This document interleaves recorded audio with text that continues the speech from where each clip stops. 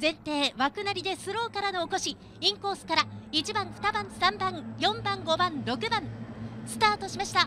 ほとんど差のないスタートになっています。第12レース。その後は1番2番内の艇が出ていきます。1枠の旋回。逃げる1号艇の藤原。刺す2号艇宮地。間を割ろうと5号艇桐生は届かない。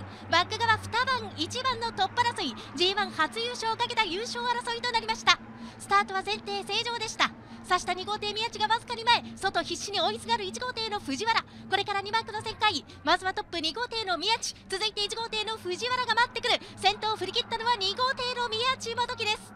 ラストタンマークに向かう先頭2号艇宮地。デビューから15年余りついに G1 初優勝が見えてきました。デビューから26回目今年4回目福岡は5回目の優勝ゴール。さあもう G1 初優勝目前です。先頭2番宮地優勝五輪。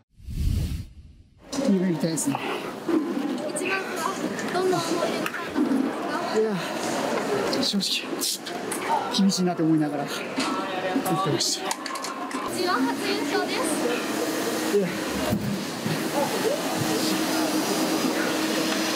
絶対ここで。タイトル欲しかったんで結構です。場外とかテレビの向こうでってもらってありがとうございます。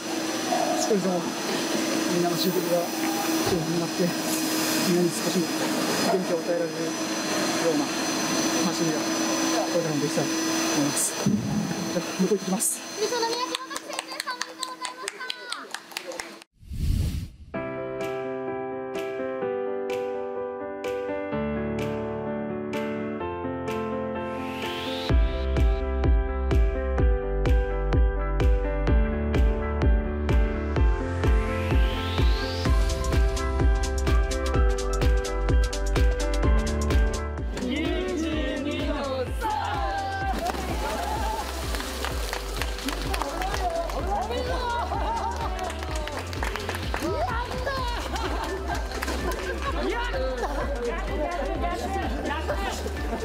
ゴ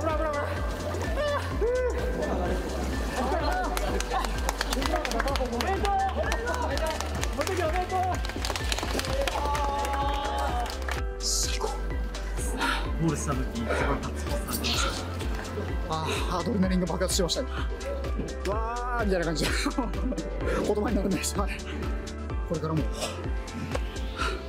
俺のレース見てくださいお願いしますありがとうございましたあ